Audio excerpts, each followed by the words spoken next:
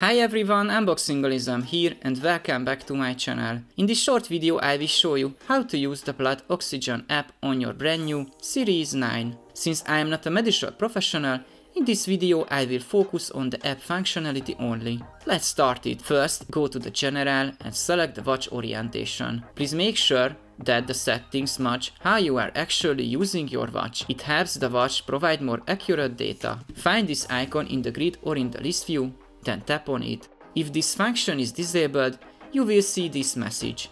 Tap on the Open Settings button, then enable it. It is important to mention that when you scroll down to the bottom, you will be able to set two background measurements options. As this message says, the measurement process uses a bright red light which can be disturb your sleep. To be honest, I use it as default, so I use this measurement during my sleep.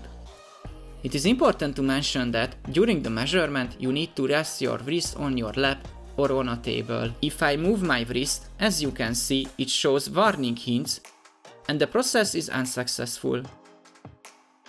So rest your wrist on a table or on your lap and wait 15 seconds for the result.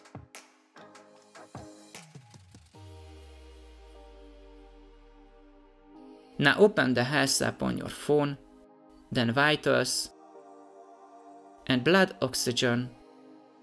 You can check your daily, weekly, monthly and yearly data. Because I had the previous generation Apple Watch, which also supported this feature, as you can see I have data from the past. With the show more data button, you can check the range, the weekly average and much more.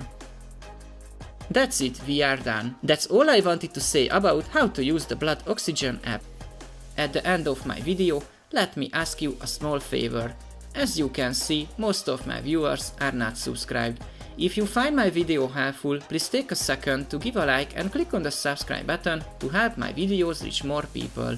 Thank you and see you in the next one.